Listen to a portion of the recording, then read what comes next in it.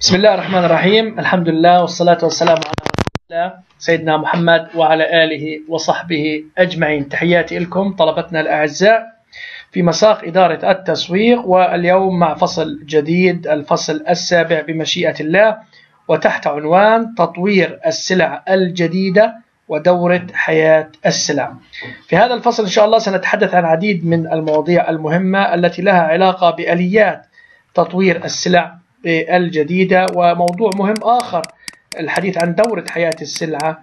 حنتحدث عن مراحل تطوير السلعة وعوامل نجاح عملية تطوير السلع الجديدة وما هي استجابة الزبائن للسلع الجديدة أو كيف يتم استجابة الزبائن للسلع الجديدة.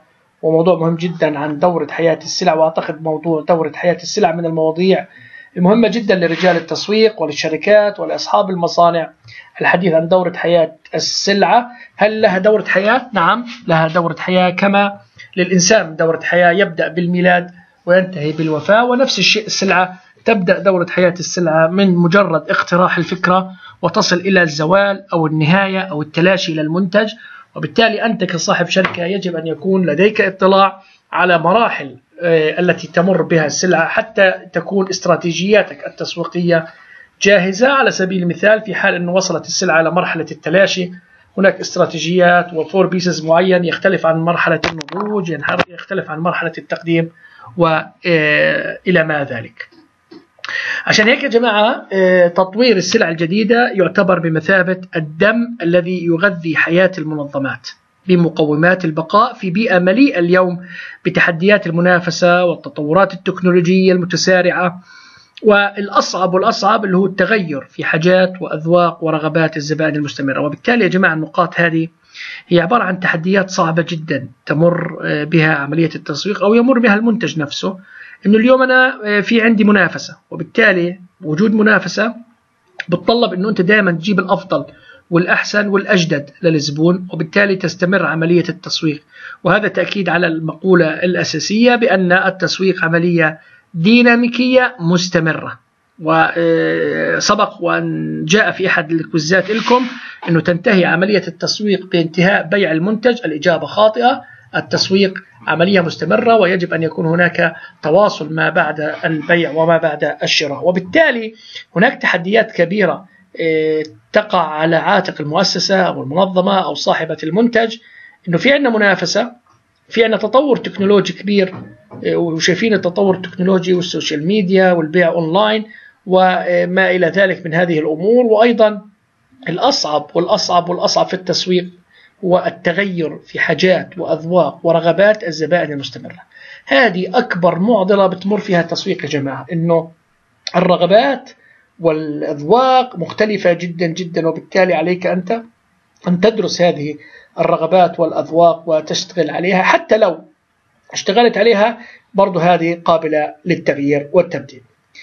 طيب عشان تضل المنظمات وتستمر في السوق لابد لها من الاهتمام بتطوير السلع سواء بإجراء تحسينات عن السلع الحالية أو تقديم سلع جديدة تضيف قيمة جديدة تتضمن كسب زبائن جدد والاحتفاظ بزبائن الحاليين يا جماعة في كمان معضلة عند رجال التسويق أنه أنا دائما أتطلع إلى اكتساب زبائن جدد.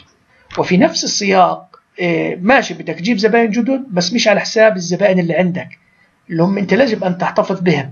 وبالتالي هذه معادلة صعبة جدا إنه أنا كيف بدي أجيب زبون جديد وأحافظ على الزبون اللي عندي. طيب عشان هيك السلع يا جماعة بدنا نعمل لها تحسينات تطويرات. سنتحدث في هذه الأمور. بتشوفوا أنتم مثلا منتج كوكا كولا في بعض الأحيان بيعملوا عبوة جديدة غلاف جديد عملوا كوكا كولا زيرو عملوا حجم جديد عبوة جديدة. وبالتالي هي تحسينات على المنتج لأنه أنت بدك تضلك مواكب التطورات التكنولوجية الموجودة وتضلك مرافق للزبون بكل المتطلبات اللي بده إياها. طيب. عملية تطوير السلع الجديدة تبدأ بمجموعة من المراحل تنتهي بطرح سلعة جديدة. أمر طبيعي. أنت بدك تطور سلعة جديدة. إذا بدك تعرض في السوق إيش؟ سلعة جديدة في السوق. إيه تقديم منافع جديدة للزبون وتستمر المنظمة بإجراء التعديلات والتحسينات على السلع في المراحل الأقصى ليش أنا بعمل تعديلات وتحسينات يا جماعة؟ ليش؟ السبب أنه في عندي تطور في عندي منافسة وبالتالي أنت يجب أن تواكب هذا التطور وهذه المنافسة. طيب آه، آه،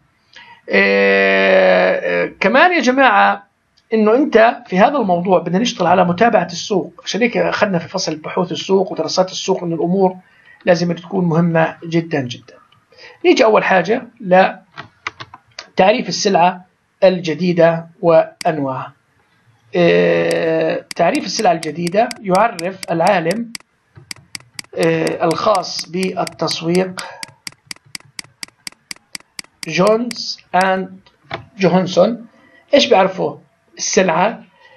السلعة آه، إنه بتحديد السلعة الجديدة يعتمد على بعدي السوق والسلعة نفسها. يعني في ركيزتين أساسيتين في عملية السلعة الجديدة اللي هو السوق والسلعة نفسها.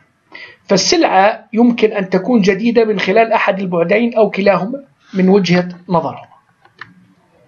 إن السلعة الجديدة هي أن تكون جديدة بالنسبة للمنظمة وقدم العالم واسون قائمة شاملة تضم 13 بعدا محتملا يمكن بواسطتها تحديد السلعة الجديدة تعريف آخر للسلعة الجديدة بأنها نوع من السلع غير المسبوقة عشان هيك سميناها إيش؟ تمام؟ جديدة أنها مجموعة من السلع الغير مسبوقة لها القدرة على حل المشكلات التي تواجه المستهلك وإيش هذه المشكلات؟ إشباع حاجته من خلال الخصائص التي تتمتع بها والمنافع العالية التي تقدمها. وهناك من يرى أن السلعة الجديدة هي السلعة التي تحوى تحسينات من وجهة نظر المستهلك. يعني أنت ممكن تحكي عن السلعة الجديدة من ناحيتين. من ناحية أنه المنظمة بتعمل سلعة جديدة بإضافة تحسينات وتعديلات على المنتج وتطرحها في السوق تلبي حاجة أو أنه أنا أنه بيرى أنه السلعة الجديدة أنه الزبون بيشوف تحسينات جديدة.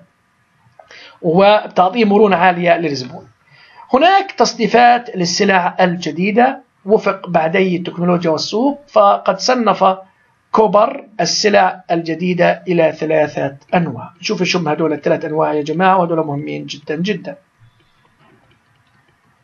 واحد سلع جديدة عالية الحداثة سلع جديدة متوسطة الحداثة سلع جديدة منخفضات الحداثة. نيجي أول واحدة لها سلع إيش؟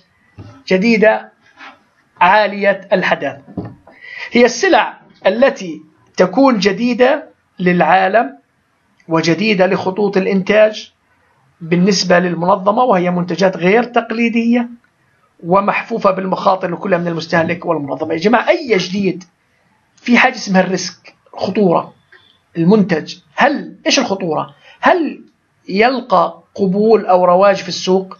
هل يتقبله الزبون هل المنظمة اللي دفعت تكاليف و cost كثيرة لموضوع ال goods اللي عندها إنه هل ينجح هذا الموضوع ولا لا؟ وبالتالي ال risk إيش بكون اعلى على سبيل المثال لما ظهر الهاتف النقال لأول مرة الجوال في السوق كان جديدا على العالم والمنظمات والمستهلك في إن واحد. وعاد ما تقوم المنظمات القائدة في السوق التي تمتلك قدرات تطويرية وهندسية عالية وتتبع استراتيجية استباقية إذ تعمل على تقديم منتجات جديدة بالاعتماد على قدرتها التكنولوجية ومن ثم الوصول إلى السوق. هذا بالنسبة لإيش؟ سلع جديدة عالية الحداثة. أما عن السلع الجديدة المتوسطة الحداثة هي السلع التي يكون جديدة على المنظمة وليست جديدة على السوق. يعني إنه سبق انطرحت في السوق يا جماعة موجودة لكن بالنسبة لي أنا كمنظمة آه، موجودة already آه، قبل هيك. هي سلع محفوفة بالمخاطر للمنظمة فقط. ليش؟ لأن المنظمة أول مرة بتخوض في هيك آه، task أو في هيك آه، منتج وبالتالي هذا المنتج already موجود في السوق والزبون مطلع عليه. لكن أنا كمنظمة شو اللي بدي يخليني أعرف إنه هذا المنتج ممكن ينجح ولا ما بينجح؟ فبالتالي الريسك هنا وين بكون؟ عند المنظمة مش عند الزبون.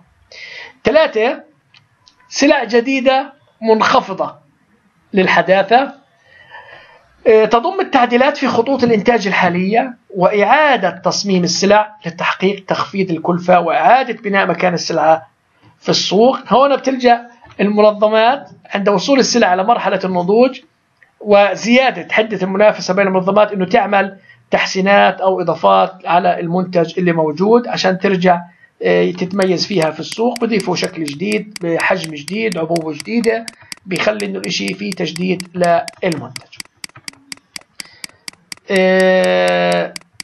طبعا في أمثلة بتطلعوا عليها يا جماعة موجود في الكتاب له علاقة بأنواع هذه التحديثات الموجودة. نيجي للنقطة التالية مراحل تطوير السلعة الجديدة. Stage of New Product Development. طيب في عندنا خطوات رئيسية لعملية تطوير السلع الجديدة ودائما يا جماعة أنا بقول لكم لما بتسمعوا في التسويق خطوات أو مراحل الترتيب ماله؟ الترتيب مهم جدا وبالتالي موضوع إنه يكون في عندك خطوات ما في إمكانية أروح للخطوة اثنين أو ثلاثة أو أربعة وأنا مش بادئ بخطوة واحدة وبالتالي خطوات مهمة جدا. طيب عشان أنا أقدم سلعة جديدة ناجحة بالمنظمة علي إنه أحدد بعناية استراتيجية تطوير السلعة الجديدة. عشان هيك يا جماعة الاستراتيجية ينبغي أن تبدأ بعملية فهم زبائن المنظمة وأسواقها. بدك تكون أنت فاهم الزباين والمنظمة والمنافسين والمنتجات المطروحة. أيضا ينبغي أن تتضمن الاستراتيجية أيضا ماذا تستهدف المنظمة من تقديم سلعة جديدة. عشان هيك يا جماعة الاستراتيجية يجب أن تبين حجم الجهود وهذه نقطة كثير مهمة اللي ينبغي أن تبذل لتقديم منتجات جديدة أو تحسين منتجات حاليه. طب شو هذه الخطوات الرئيسية لعملية تطوير السلع الجديدة؟ خلينا نشوف هذا الموضوع. خطوات الرئيسية لعملية تطوير السلع الجديدة زي ما إحنا موجودة في الشكل. عندنا أول شيء يا جماعة ولادة الفكرة. يعني مجرد إن أنا أجيب فكرة لمنتج إيه، معناه إنه أنا بديت أشتغل في المنتج. عشان هيك البعض بيقول لك إنه المنتج بيبدأ منذ نزوله في السوق. لا المنتج بيبدأ من لحظة إنك أنت بديت تفكر بالمنتج. وبالتالي بدت عندي ولادة الفكرة زي ما أنتم شايفين يا جماعة في الشارت اللي عندي. ولادة الفكرة بعدين غربلة الأفكار. إيش يعني غربلة؟ يعني التصفية. يعني بتشيل الفكرة الغير لائقة وبتدور على الفكرة اللائقة. بعدين تطوير المفهوم واختياره. بعدين تطوير استراتيجية التسويق. ثم تحليل الأعمال. ثم تطوير المنتج. والاختبار التسويقي وختاما بالمتاجرة. طبعا هذول الخطوات فيهم كتير مهمة يا جماعة. نروح لأول واحدة ولادة الفكرة idea generation. عملية تطوير المنتج يا جماعة تبدأ بالبحث المنظم عن الأفكار الجديدة. لازم تجيب الأفكار الجديدة يا جماعة وهذا كيف أنا بدي أجيب أفكار جديدة يا جماعة؟ بدك تتبع بدك تشوف السوق بدك تشوف المناسبين المنافسين بدك تشوف ال social media بدك تشوف عوامل التكنولوجية. شو في عندك أشياء موجودة بالسوق من هذه الأمور؟ أنت يجب أن يكون دائما حاجة اسمها مواكبة التطورات. ما بينفع أنك أنت عملت منتج ونزلته في السوق وبدأ يعمل لك profit وأنت تنبسط وتسكت. لا في حاجة اسمها متابعة المنتج في السوق بحوث السوق. تشوف ال feedback تبع المستهلكين. لأنه أنا اليوم نزلت منتج يا جماعة ب 2020 وأنت بعتبره نمبر 1 من ناحية تكنولوجية. وبالذات يا جماعة في منتجات اللي لها علاقة بالتكنولوجيا بنحكي بالأجهزة الخلوية والجوالات والأمور زي هذه. متابعة السوق مهمة جدا لأنه جهاز اليوم أنتم بتعرفوا الجوال ممكن ينزل اليوم ب 2000 شيكل بعد ثلاث شهور بتجيبه ب 1000 شيكل. طب شو التفسير هذا يا جماعة؟ لأنه في ظل وجود عالم متسارع من التكنولوجيا أصبح إنه ممكن المنتج اليوم الأربعاء مثلا أنا نزل منتج جديد الأربعاء الجاي يعتبر قديم. إذا نزل منتج جديد من شركة منافسة. عشان هيك يا جماعة عملية تطوير المنتج تبدأ بالبحث المنظم عن الأفكار الجديدة. هناك مئات بل آلاف الأفكار التي يمكن أن تولد ولكن قلة من هذه الأفكار تتحول إلى منتج جديد. طيب هناك العديد من المصادر التي يمكن الحصول من خلالها على الأفكار للمنتجات الجديدة أو تحسين منتجات حالية منها، يعني من هنا أنا ممكن أجيب فكرة لمنتج، أول شغلة يا جماعة العاملين في المنظمة، هم أهل زي ما بقول لك أهل مكة أضرب شعابها، اللي بيشتغل جوا المنظمة هو قادر على إنه يقول إنه هذا المنتج بيمشي بيمشيش إلى آخره، أو آه، من خلال وحدات البحث والتطوير. أو ممكن أنا آه، تجيني فكرة من خلال شكاوى الزبائن أو اقتراحاتهم أو تطورات التكنولوجية أو من البيع أو من المنافسين أو الموردين أو من طريق الجامعات whatsoever في هيك موضوع. بعد ما ولدنا الفكرة نيجي بنعمل غربلة الأفكار، إيش يعني الغربله؟ يعني بتحاول آه، تفرز الأفكار الإيجابية المفيدة more active عن الأفكار اللي ممكن تكون مش كتير مهمة. ينبغي الأخذ بالاعتبار إنه ليس كل الأفكار مربحة. وحالما يتم طرح العديد من الأفكار فهي بحاجة إلى غربلة أو تصفية إيش الهدف من التصفية يا جماعة والغربلة؟ هو استبعاد الأفكار الغير مناسبة أو الغير ممكنة التطبيق والتركيز على الأفكار اللي ممكن أنا توفر لي ربح وتكون قادرة على تلبية احتياجات السوق إلى آخره طب كيف بدنا نعمل إحنا هذه الأمور؟ إيه بده يكون عندك إجابة على الأسئلة التالية. هل أن الفكرة جيدة وتتوافق مع النشاط المنظم الرئيسي؟ طب هذه الأسئلة بدك تسألهم لنفسك. الإجابات بدها تحكم عليك من ناحية المنتج. هل تتفق الفكرة مع أهداف المنظمة واستراتيجياتها؟ بالنسبة لي الأسئلة هذه إجابتها صح ولا لا؟ بيتوقف عليها إيه، إيه، بقاء الفكرة ومحاولة تطويرها. هل لدى المنظمة الموارد البشرية والمعرفية والمعدات عشان أعمل هيك منتج؟ هل تكتفي أو تكفي الطاقة الإنتاجية لإنتاج المنتج الجديد وبالتالي أنت بتشوف حالك في هذه الإجابات. المرحلة ثلاثة بعد هذه الأمور تطوير المفهوم. إيه، في هذه المرحلة يا جماعة بتتحول الفكرة اللي تم اختيارها إلى مفهوم المنتج الذي سيتم تقديمه إلى السوق. فالزبائن لا يشترون فكرة المنتج وإنما يشترون المنتج الفعلي الملموس. أنا ما بدور أفكار. هل قلت بعطيكم 100 فكرة؟ أنا بدي منتج.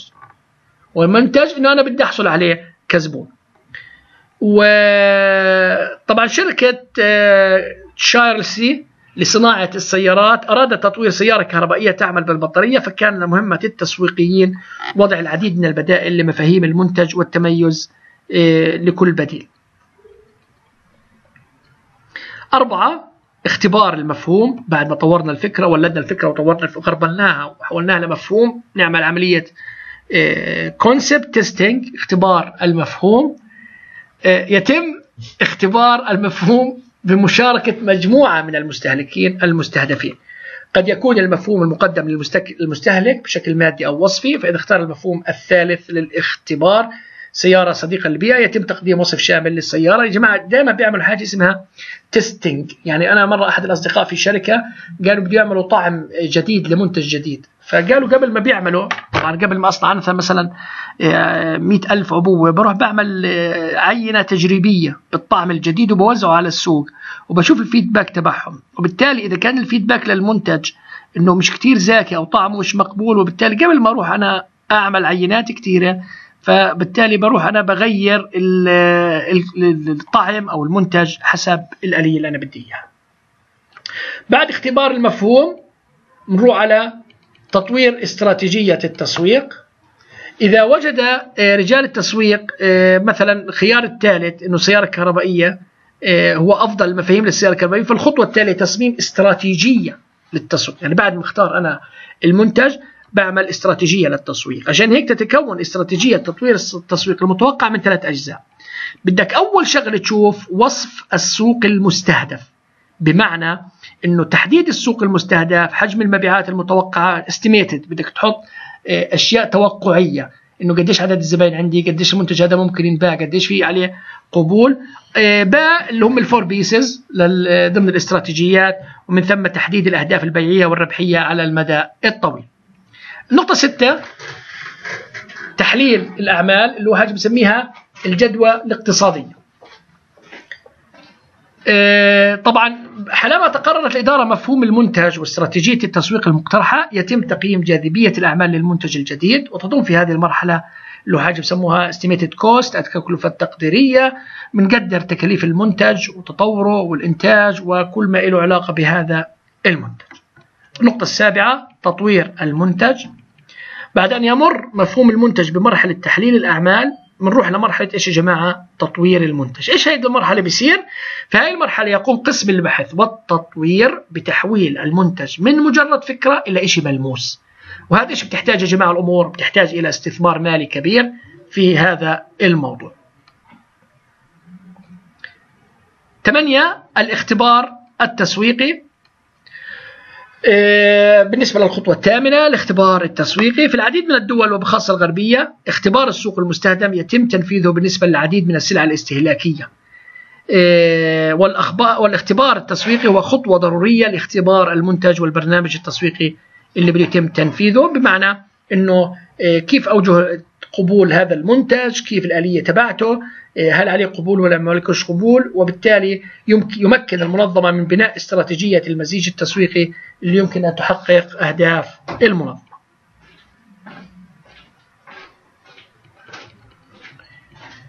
هناك عدة طرق تستخدم للاختبار التسويقي للسلع الجديدة. منها يمكن أن تقوم المنظمة باختبار عينة من 30 ل 40 مشتريا وتقوم بمنح مبلغا من المال للتسوق من أحد المتاجر المعروض فيها المنتج دون أن تخبرهم بعلاماتها. هنا يا جماعة بشوفوا كيف الوضع إيه إنه بيعطوا إيه مبلغ من المال ل 30 40 شخص وبخلوهم يشتروا بشوفوا إنه هل في قبول على المنتج تبعهم ولا لا. طبعا هذا عندنا صعب جدا ان أنا أجي أعطي 30 ل 40 واحد مصاري يروح يشتروا هيك موضوع. طيب النقطة اللي بعدها المتاجرة بالسلعة. بعد نجاح الاختبارات التسويقية يتم تقديم السلعة الجديدة إلى السوق الذي يعد مقياسا حقيقيا لاختبار قدرتها على الإفاء بحاجات المستهلكين ورغباتهم. وبالتالي الصمود بوجه السلع الأخرى المنافسة. هذا يا جماعة ينبغي أن تحدد المنظمة الوقت المناسب لتقديم السلعة الجديدة. وبالتالي يا جماعة بدك تجيب سلعة جديدة بدك تختار الوقت المناسب. إيه، ديروا بالكم فصول السنة لها دور. إيه، شهر رمضان له دور الأعياد والمناسبات البيئة لها دور. وبالتالي لما بدك تنزل منتج جديد يعني ما بينفعش في شهر 12 وواحد واثنين أجيب منتج جديد له علاقة بالآيس كريم. لأنه فيش سوق فيش طلب يا جماعة عليه ليش؟ لأنه الدنيا شتاء وبالتالي ما في طلب عليه بناء على الأحوال الجوية الموجودة. آه، يتطلب من المنظمة بعد القيام بتقديم السلعة وطرحها في السوق على المستوى التجاري أن تقوم بمتابعة مبيعات وربحية السلعة الجديدة. يعني ما بتنتهي عمليتك بانتهاء الوقت الخاص بهذا الموضوع لا بدك تضلك متبع آه، الموضوع آه، بشكل كبير جدا. وبالتالي بدك تقوم بمتابعة المبيعات والربح ومتابعة تنفيذ البرنامج التسويقي المتكامل كذلك متابعة مدى استجابة المستهلكين للسلعة. يعني بدك تشوف هل السلعة صار فيها قبول كيف رأي الناس فيها كيف ردة الفعل عليها عشان تتجنب فشل المنتج في بداية المرحلة. وبالتالي يا جماعة وصولك أنت للفشل في بداية المرحلة هذا بشكل كبير جدا عشان هيك معظم المنتجات اللي بتفشل في مراحلها الأولى كناية عن ضعف دراسة السوق. ما في دراسة جدوى صحيحة ما اختبرنا السوق صحيح وبالتالي تسارعنا بشكل كبير جدا في طرح المنتج دون النظر إلى السوق ودراسة السوق وما أخذنا فيدباك وردود أفعال من المستهلكين حول تجربتهم لهذا المنتج. عشان هيك بدنا نتجنب فشل المنتج في بداية مراحله وتحقيق الأهداف التي سعت المنظمة إلى تحقيقها إيه، النقطة التالية إن شاء الله حناخدها في اللقاء القادم. عوامل نجاح عملية تطوير السلع الجديدة وبالتالي إحنا اطلعنا الآن على مراحل موضوع السلع الجديدة تعرفنا على تعريف السلع الجديدة. وهنا يا جماعة بنأكد على شغلة إنه متابعة السوق دراسة الأسواق دراسة المنافسين متابعة التكنولوجيا كل هذه الأمور لها دور كبير جدا جدا في إنك أنت تعرف وين أنت واقف. وبالتالي موضوع التسويق يا جماعة موضوع كتير خطير. ما تعتقد إنه التسويق فقط مجرد إعلان أو دعاية أو ما شابه فيك أمور لا الإشي أكبر من هيك. الإشي إنه بدك تضلك تعمل تحسين مستمر منافسة دراسة سوق تشوف الأجواء لأنه منتجك زي ما حكينا ممكن اليوم يكون active يكون جديد بعد أسبوع ما تلقى له رواج وما تلقى عليه طلب بسبب إنه في شيء تكنولوجي جديد ظهر أو منتج جديد ظهر لأنه الزبون بتعرفه يبحث بشكل أساسي عن المنتج الأفضل الأحسن الأجدد الأوفر الأرخص ويؤدي المنتج حاجات ورغبات هذا الزبون هيك بنكون خلصنا اليوم لقائنا لليوم يا جماعة. المحاضرة الجاية إن شاء الله بنبدأ في عوامل نجاح عملية تطوير السلع الجديدة بإذن الله تعالى. تمنياتي لكم دائما بالسلامة والصحة لكم ولذويكم ونلتقيكم في محاضرات قادمة. مع تحياتي محاضر هذا المساق إيهاب أبو الخير. دمتم بخير وإلى اللقاء.